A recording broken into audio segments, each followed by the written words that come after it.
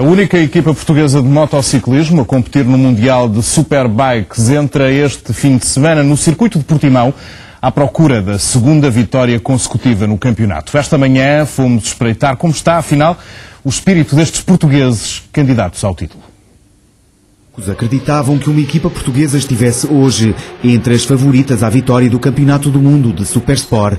Mas quatro anos depois da estreia, estes dois pilotos, um irlandês, o outro português, estão em boa posição para alcançar a segunda vitória da temporada. Uma história quase romântica que já conquistou os amantes do motociclismo.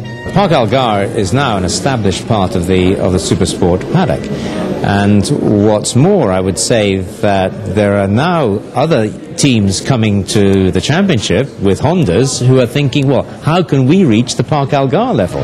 É uma das equipas de topo com menor orçamento, um milhão e meio de euros, que chegam para fazer frente aos gigantes que sempre dominaram o campeonato. Gastar dinheiro é fácil, gastar dinheiro com resultados é mais difícil. Nós tentamos fazer um compromisso entre investir o mínimo possível e maximizar os resultados nesse sentido. Alcançou os primeiros pódios em 2008 e, para surpresa geral, foram vice-campeões em 2009. Para isso, muito contribuiu o desenvolvimento de componentes da Honda em que correm. Eu acho que isso é talvez o nosso grande segredo. Nós, na parte de, de eletrónica, de gestão do motor e controle de tração e tudo mais, temos um, uma equipa fortíssima com a Motec. Todos os nossos engenheiros de pista são engenheiros de pista de primeiríssimo nível, com um empenho extraordinário e acho que é aí que tem sido a grande diferença em relação às outras equipas. Here you have this small private team which entirely on its own, using its own resources, has created this fantastic motorcycle which I had the pleasure of testing last year in Imola. E pensar que uma equipa assim começou por deslocar-se de prova em prova, não com o caminhão de que hoje dispõem, mas com uma carrinha.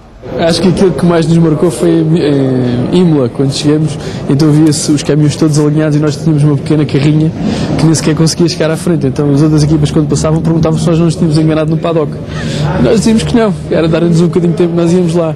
E nessa conferência de imprensa, nessa primeira corrida, eu disse: daqui a dois anos nós estamos no pódio. Toda a gente riu.